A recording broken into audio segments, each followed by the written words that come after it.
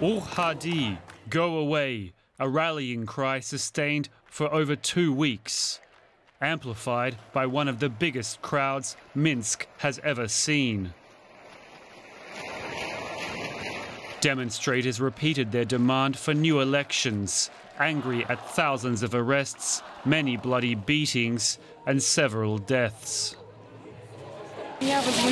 I'm shocked by these lies and violence that reign in our country. I have three children and three grandchildren. I want them to live in a free country, to have freedom to express their opinions and have great life prospects.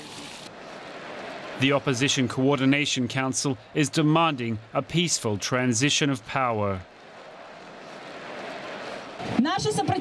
Our resistance is a marathon. The regime cannot deal with this marathon, but we can. We have the will, strength, and the support of each other.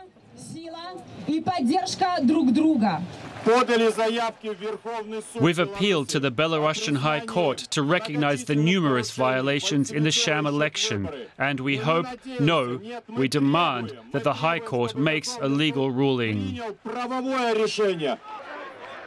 Security forces held back on Sunday, but the army has been mobilized, supposedly to protect national monuments.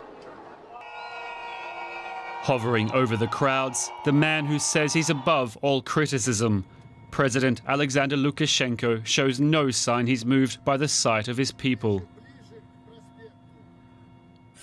Once on the ground, Lukashenko brandishes a gun, he says he's ready to trigger another crackdown if opponents refuse to accept his victory.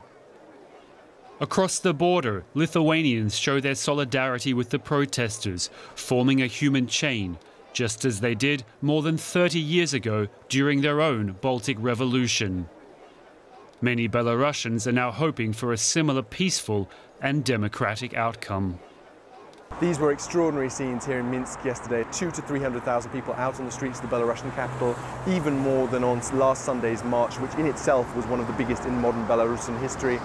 I think there had been fears that people would lose steam, lose momentum, that given how unclear uh, the progression now is, people would stop coming out. But it seems like those government threats to arrest protesters had the opposite effect and brought people out uh, in big groups with their children, with their pets, um, no real sense of fear, a sense perhaps that the numbers are just too big for the government to put everyone in jail. As for where this goes now, there is no roadmap. It's not clear what will happen next. Lukashenko is still ignoring the opposition and refusing offers of dialogue. But for now, people seem convinced that these will go on and that they are showing no sign of giving up.